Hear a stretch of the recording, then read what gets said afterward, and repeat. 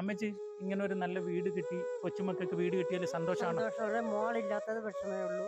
മോളില്ലാത്തൊരു വിഷമം. പക്ഷെ കൊച്ചുമക്കളെ അമ്മച്ചി നന്നായി നോക്കിക്കോളും എന്നുള്ള ഒരു ധൈര്യം ഞങ്ങൾക്കുണ്ട്.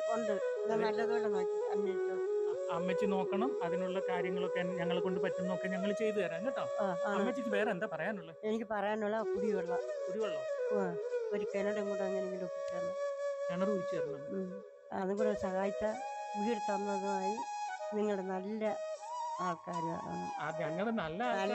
ആളായിട്ടാണ് എനിക്ക് ഇത്രയും ഒപ്പിച്ച് തന്നത്.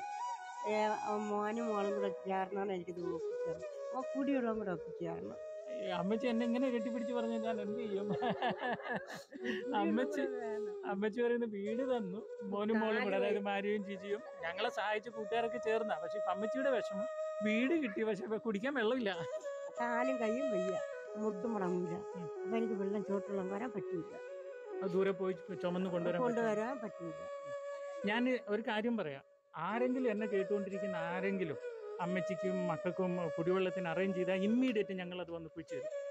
ഓക്കെ അത് ആരെങ്കിലും ചെയ്യുമെന്ന് ഞാൻ വിചാരിക്കുന്നു. കാര്യം അമ്മച്ചിയുടെ കണ്ണിലെ വെള്ളം വേണ്ട.